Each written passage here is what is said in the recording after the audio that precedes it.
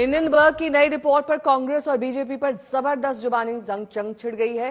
कांग्रेस की तरफ़ से राहुल गांधी ने हिंडनबर्ग रिपोर्ट के हवाले से सरकार और सेबी पर सवाल खड़े किए। तो आज बीजेपी के वरिष्ठ नेता और पूर्व केंद्रीय मंत्री रविशंकर प्रसाद ने पलटवार करते हुए कांग्रेस पर देश को आर्थिक अराजकता में झोंकने की कोशिश का आरोप लगाया।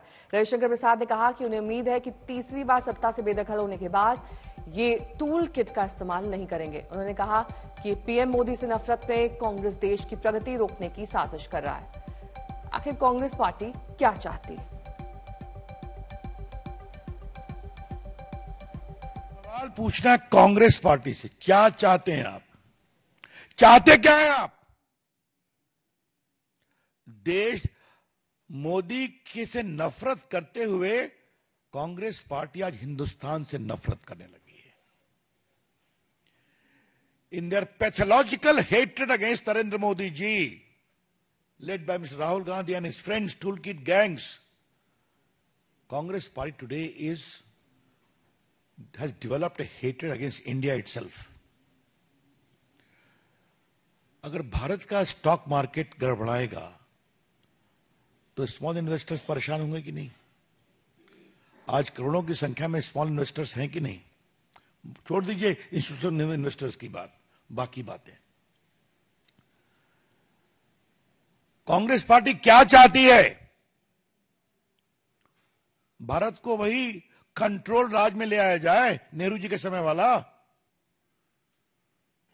जब भारत को दाने दाने के लिए परेशान होना पड़ा था कि उनकी सरकार नरसिंहा राव के प्राइम मिनिस्टरशिप में भारत को ओपन करना पड़ा था, एफडीआई में, एफआईआई में, क्या वहीं जाना चाहते हैं क्या?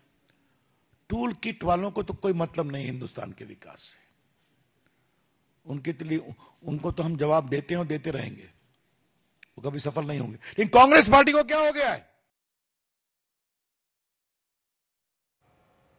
बीजेपी ने यह भी आरोप लगाया है कि पूरी साजिश देश की प्रगति रोकने की है।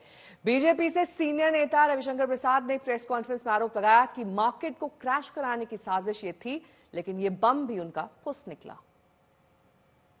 कांग्रेस पार्टी की पॉलिटिक्स में एक टूलकिट पॉलिटिक्स है, दूसरा है चिट पॉलिटिक्स। हम्म? परीक्षा में तो चिट मिलती है, कार्रवाई भी हो रही है।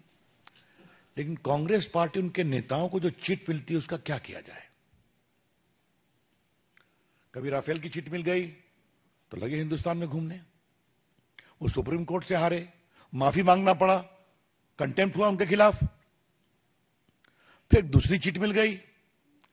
हिंडनबर्ग की पहली रिपोर्ट, वो चिट मिल गई।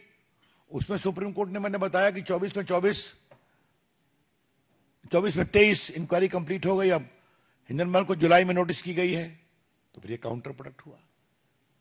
अब ये चिट पड़ गई। जेपीसी लाओ इंक्वायरी कराओ।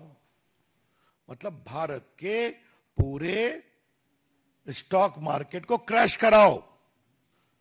छोटे इन्वेस्टर्स के पूंजी निवेश को समाप्त कराओ। भारत में कोई आर्थिक निवेश न हो, विदेश का एफआईआई और एफडीआई वो सबको रोको। Because Indian investment scenario is not a safe position यह है इनकी सोच। तो बात यहाँ पर किस तरीके से हिंडनबर्ग रिपोर्ट की हो रही है, इस मामले में विपक्ष जेपीसी की मांग कर रहा है, लेकिन बीजेपी ने कहा है कि जेपीसी की ज़रूरत क्या है।